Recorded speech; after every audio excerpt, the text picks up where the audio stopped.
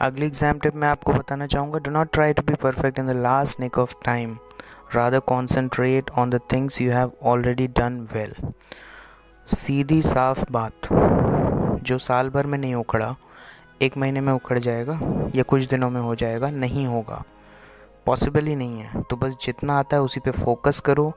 किसी अच्छे मेंटर की शरण में जाओ, उनसे हेल्प मांगो how to organize your study how to organize your day how to organize your timetable how to organize your subjects chapter wise topic wise what to study what not to study what is more relevant with respect to the examination what is less relevant. So is there ki smart study karo do smart work do not indulge yourself into the donkey labor.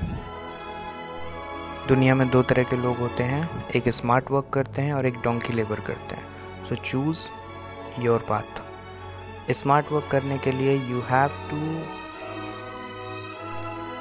find an experienced person who can guide you who will be your mentor so follow this